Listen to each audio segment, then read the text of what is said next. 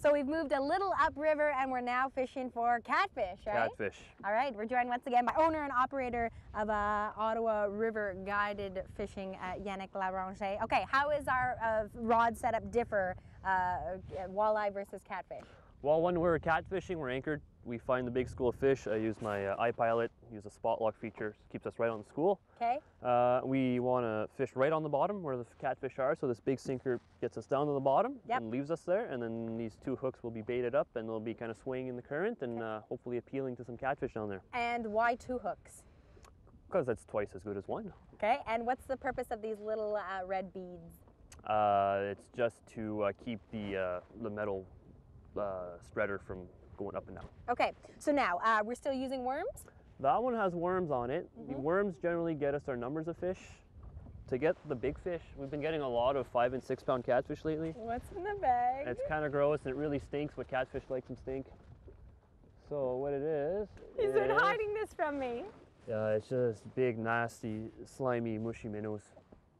Let's see them. Yeah, Oh, and you there just we go. rip it right we in just half. rip them right in half. Okay, I was like going that. to offer to bait this one, but now I'm not so sure. Probably not a good idea. I'll do one, you do the other. How we'll about hook that? this one right through the eye, just like that. Okay.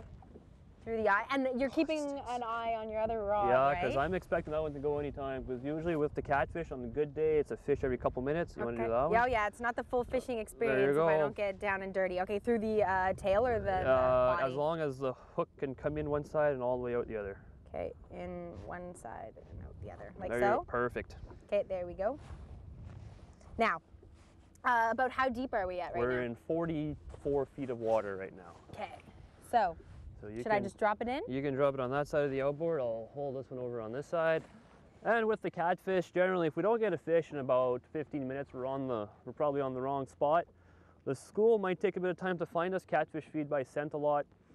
So once the school finds us, generally we'll get a good flurry of action. Sometimes we'll drop right on the school and get fish right away. Okay, I'm on the bottom. Should I You're on leave the it bottom. Smack want it- dab on the bottom Oh, or pick it up a bit? You want to uh, find the bottom Yep. and then let out a bit more line. And then you let out the a bit bottom more. and then some. Gotcha. Okay. And oftentimes with catfish, less is more. The less you move, the more fish you, you get. Okay. But uh, sometimes I like just a little jiggle. You don't want to lift the sinker off the bottom, but just a little jiggle, jiggle like that will get them going sometimes. Okay. So now they uh, they search for their food by scent. Yeah. Okay, so there's certain fish that like the stinkier uh, bait, and others it doesn't make like, a difference. Yeah, pretty much like catfish. Scent tends to usually help. Like when I'm bass fishing, I'll usually put a bit of scent on my on my artificial lures. To, it, it might be more mental, but it, I find that it makes a difference. Okay. All right. So uh, so just a little bit of jiggling now and then. I, I find it so hard to stay still when I'm fishing. I Ah. always want to be pulling on the rod. Oftentimes, especially when we're guiding kids for catfish, we'll bring the bench. I have a bench here that folds right up, and we'll Yeah. just lean the rods right there, and I'll tell them some great jokes, and they'll laugh while we're watching the rods. And then uh, when there's a bite, uh, they'll grab it, set the hook, and reel them in. Are they better jokes than your stick roll joke? Uh, no. Earlier Generally I caught not. a stick.